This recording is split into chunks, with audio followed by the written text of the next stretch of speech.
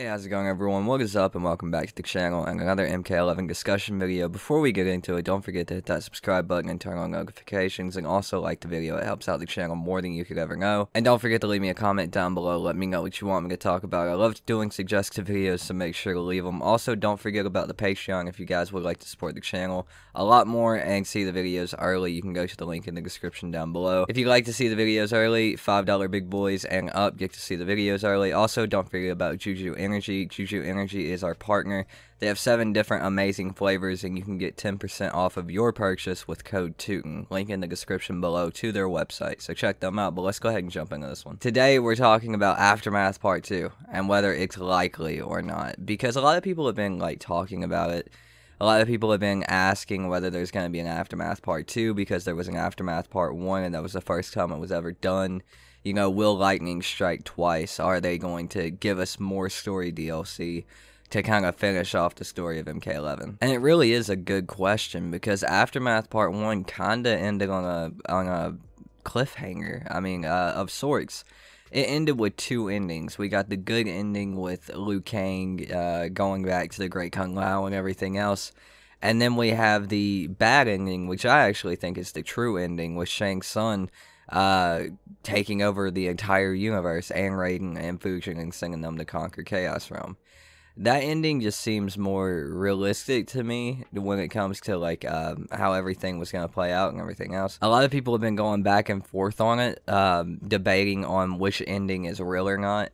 And either way, whichever ending's real, I still think it would be cool to see an Aftermath Part 2 or something of that sort but I really just don't think it's likely. I think it is very likely that we're going to get story DLC for future Mortal Kombat games or even Injustice games, whatever IP that they do uh, next, whether it's Mortal Kombat, Injustice, Marvel vs. DC, Mortal Kombat vs. Marvel, Mortal Kombat vs. DC again.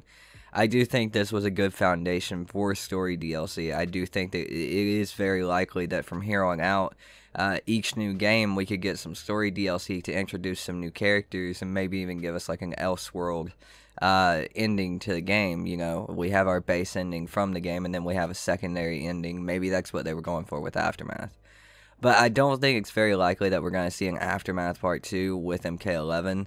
Uh, because there is so much more story to tell, and if they did want to continue on with that Shang Tsung story, uh, with his ending, they would probably want to do that with a whole game, considering that they'd be going into Chaos Realm and Order Realm and probably a few other different realms with a lot of different characters. They probably want to save that for a whole game.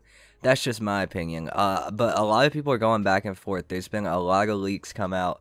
There's been a lot of leaks actually saying differently than what I'm saying. Saying that there's going to be a Kombat Pack 2, a Kombat Pack 3, and an Aftermath Part 2. Or at the very least, a Kombat Pack 2 and an Aftermath Part 2. Uh, of course, I don't work there, uh, so I have no idea. It just it, it doesn't make sense to me at this point to get another uh, aftermath DLC, especially with them spacing out the DLCs as much as they are. Uh, previously, when Aftermath Part One came out, I guess I didn't understand the time span of releases, like how how far apart they're going to be distancing DLCs from each other. So I thought an Aftermath Part Two was very likely, along with uh, a Kombat Pack Two and everything else, but. I was very wrong. Uh, so I'm really starting to doubt in Aftermath Part 2. I could be wrong. I would be happy if I was wrong. I'd love to have a, another story DLC. Aftermath Part 1 was dope. But at this point, I, I just, I don't see it happening. But that's going to do it for this video, guys. I hope you guys did enjoy the video. It's a little bit shorter of a video. Uh, we're looking forward to the Gamescom today. And, uh, you know, I had to wake up early and get this out for you guys. But I did want to talk about this. Let me know what you guys think about it in the comments down below. I'd love to hear what you guys have to say about it. Don't forget about the Patreon. If you guys would like to support the channel in a bigger way, you can go to the link in the description down below and support on Patreon. If you are a five dollar and up big boy, you get to do you get to watch the videos early. Jeez, words.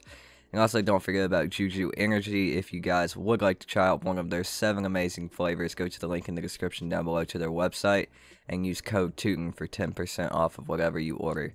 Also, guys, thank you so much for 5k subscribers. I am going to be working on the 5k special tonight and maybe tomorrow, depending on how long it takes to get made. Thank you all so much. That is surreal and fucking amazing. Thank you. My name is Tooten. Thank you for watching, and I'll see you guys next time. Peace